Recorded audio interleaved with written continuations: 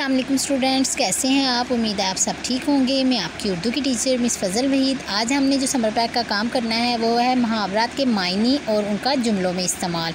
मैं आपको मुहावरात के मायने बताऊँगी। आप लोगों ने कोशिश करनी है जुमले जो हैं, अपने अल्फाज में बनाएँ।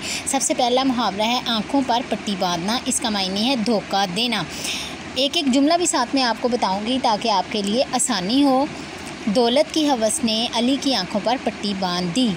आड़े आना मुश्किल में मदद करना, दोस्त वही जो मुसीबत में आड़े आए। बाग बाग होना, खुश होना, बच्चे की कामयाबी की खबर सुनकर माँ बाग बाग हो गई। बाल की खाल उतारना, छानबीन करना, पुलिस वाले तफ्तीश के दौरान बाल की खाल उतारते हैं, पत्थर पर लकीर जिसे बदला ना जा सके। माँ का हुक्म आमना के लिए पत्थर पर लकीर होता है। फूल झड़ना अच्छा लगना। मेरी बहन ऐसे बात करती है जैसे फूल झड़ते हैं। ठेस लगना, चोट आना, धोखाबाज दोस्त की वजह से मेरे दिल पर ठेस लगी। जलती पर तेल डालना, झगड़े को मज़ीद बढ़ाना, जलती पर तेल डालना बाज़ लोगों की आदत होती है। चार चाँद लगाना, खूबसूरती बढ़ाना।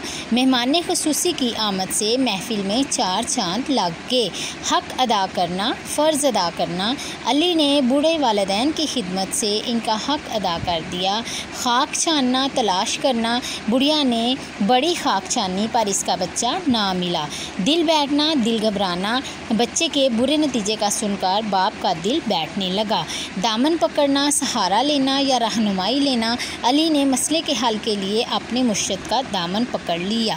उम्मीद है आपको समझ आ गई होगी कि मुहावरात के मायने क्या हैं। उनको ख़ुद अपने अल्फाज में, अपने जुमलों में इस्तेमाल करने की कोशिश कीजिएगा। अपना ख्याल रखिएगा। अल्लाह हाफिज़।